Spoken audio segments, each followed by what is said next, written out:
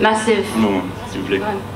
Bonsoir mesdames et messieurs, je m'appelle David Shaw et je suis le Vice President Senior en charge de l'international et du contenu pour l'UFC. Nous sommes extrêmement fiers d'avoir enfin organisé notre tout premier évén- événement en France. Au nom de Dana, Lawrence, Mark Ratner et toute l'équipe de l'UFC, je voudrais exprimer notre reconnaissance et notre gratitude aux personnes suivantes. Tout d'abord, Madame la ministre du Sport et la Fédération, française de boxe pré- présidée par M. Dominique Neto. Nos hôtes de la- l'accord Arena et nos partenaires audiovisuels historiques RMC Sport et l'équipe. L'ensemble de l'équipe de la Fédération internationale de MMA et en particulier Bertrand Amoussou qui est engagé depuis plus de 15 ans pour développer le MMA en France. Et bien évidemment, vous tous, les médias, qui couraient l'organisation et ce premier événement UFC en France depuis de nombreux mois. Il nous a fallu de nombreuses années de dur travail pour développer notre sport et être là ce soir. Et nous sommes très enthousiastes à l'aider de revenir en France dans le futur.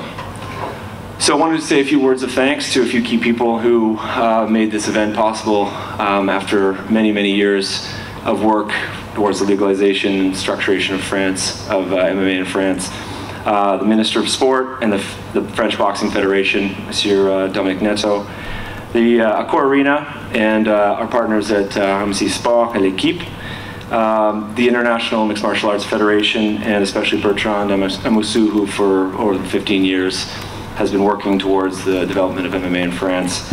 Um, and lastly, all of you who have helped um, really make the support and the promotion and the uh, welcoming of the UFC in France uh, such a special occasion and such a strong week for the sport of MMA here in, uh, in Paris.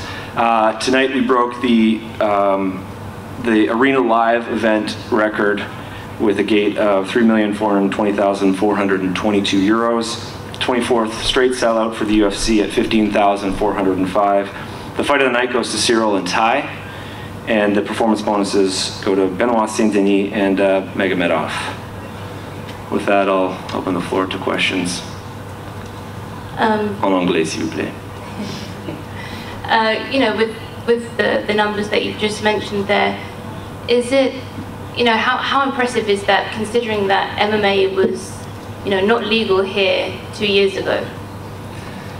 Yeah, I mean, listen, I think we're very, very grateful for the, the turnout. Um, we've seen, you know, the first time in New York, the first time in Toronto, the first time in Perth and in Melbourne, when you've got some pent up demand after a significant period of time of not being able to host MMA events. Um, there's certainly a surge in interest, and there's an interest from a community that extends well beyond just the MMA community, and I think we saw that tonight. Uh, we really view this week and this weekend as sort of a springboard to the accelerated growth of mixed martial arts in, in France, and hopefully after that main event, you know, it's not going to be too long before we're back. Yeah, with that that being said, you know, London is somewhere that you go, you know, regularly every year. Do you think Paris can be the same? Absolutely. Yeah, I think we've been actually pretty vocal about wanting to get to France uh, at least once a year. Not only in the preparation, and as we've met with a number of different constituents, different bodies um, here in, in France, um, but even this week you heard Lawrence talking about us making France a destination annually. David O'Hare. Um, Yes, sir. Uh, just the uh, the success of tonight, coupled with two big shows in London this year. I mean, what does that say about the strength of the European market right now, and how likely are we to see additional countries uh, in 2023? Uh, very likely. I mean, I think the plan for 2023 is to try to get back to pre-COVID levels in terms of the number of international events we're having. So we'll get back to Abu Dhabi. Um, obviously, well, we're going to be there in a couple months, um, but we'll be there in 23. London, France. Uh, we need to get back to Scandinavia. We've been talking about going to Germany, um, even Spain. There's a number of different countries we want to get to. So, you know, we're, we're going to be maxed out by the 42 total events, and I think, as you guys know, they're divided up in fairly, you know, straightforward ways as we've done in the past with Brazil and Australia and um, Canada, and, and obviously the events that we're having in the U.S. So. Um, our goal is to, you know, try to get to at least one new country next year, at least one that we haven't been to in three or four years since COVID. Um, but we're still in those in those planned development stages at the moment. And just the fan reaction tonight. I mean, I, Yeah, that might have been the loudest venue that I've been in. Um, what was it for you? Um, yeah, I mean, much of the same. It's always nice to see the different cultural um, elements of a live fan base, and whether it was the national anthem or the, you know, if you're not jumping up and down, you're not French, um, and all the, the other activities that were going on in the fan base, in the, uh, in the, in the seats. Um, it was incredible. It was, it was, it was wild, and Lawrence and I were, were texting with Dana and, um, and Mick, and you know, he could tell on, on air that it was, it was just mental in here. Last one for me. We talked about the European countries. You also haven't been to Canada since 2019. I'm just wondering if there's anything on the horizon there. Yeah, yeah, we're trying to get to Canada as soon as, as we can. Um, so, you know, Toronto's typically a pay-per-view market, as is Edmonton, maybe Calgary. Um, pay-per-views are hard to come by, and then you try to line those up with availabilities of dates at the arenas that um, we need to get to across Canada.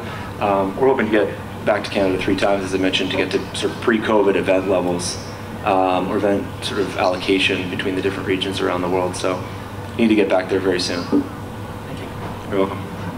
When you obviously like today, it's been a smash hit, and the whole week's been great. You guys have had amazing media turnout um, for a new market. But I'm curious, how much pressure is on you to actually have an event go like this, right? You want your first one to be an amazing show that you can springboard into the next one, and so on and so forth. So when you have a night like this with a main event like that, and you can all sit here and think, okay, job's done. How important is it to actually have an event go off like this?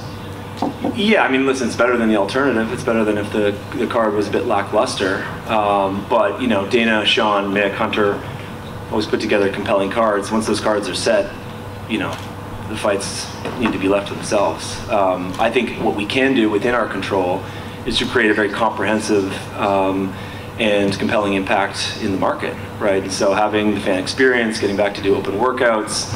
Um, Lawrence did sort of a, a breakfast with uh, a government sort of commercial community uh, at the French American Foundation on, on Friday morning. We did an increased number of, of sort of fighter activations. So for us, being here for the first time and making an impact on the community, especially for people who just aren't, you know, they're not aware, they're not exposed to UFC that often, and if they can get, you know, to the, the weigh-ins were full with 3,000, 3,500 people that were here.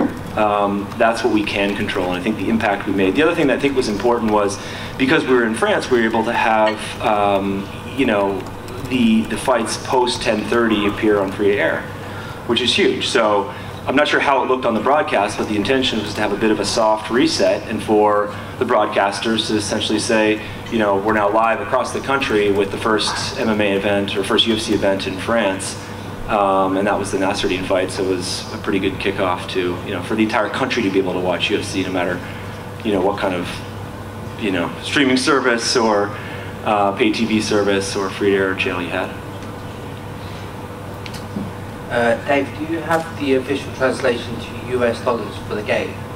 Uh, well, I mean, these days it's about one to one, so I don't have it in front of me, No. but it's pretty, it's pretty close. Oh, I thought I'd missed it. I was just baffled by your, I mean, mesmerized by your, uh, your friend. Yeah, right. I think everyone was. Swedish television here. Hi, over here. Hello. You yourself mentioned Scandinavia, uh, going back to Scandinavia. Now, uh, more in more specific, Sweden.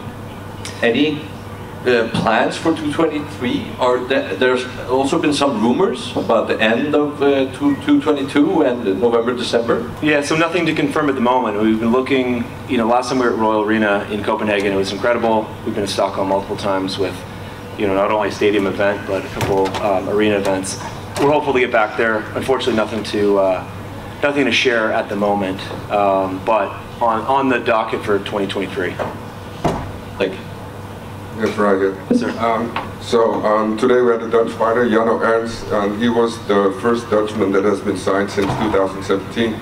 And uh, a lot of people are wondering if there's any plans of coming back to the Netherlands or signing more Dutchies because we're running low right running low.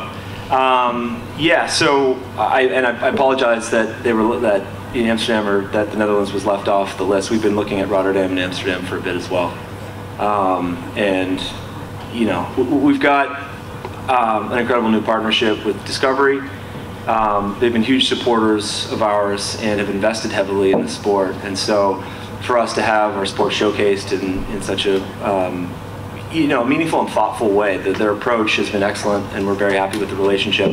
Um, so yeah, not much I can say on, on the event, and uh, when it comes to fighter development, you know, Sean and Mick are, are working, um, you know, tirelessly to try to find new athletes. I don't know what they've got. Quite honestly, I don't know what they've got on the horizon, but um, you know, we can ask them next time.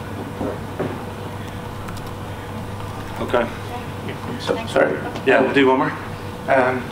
You had uh, two Italian fighters competing on the main card.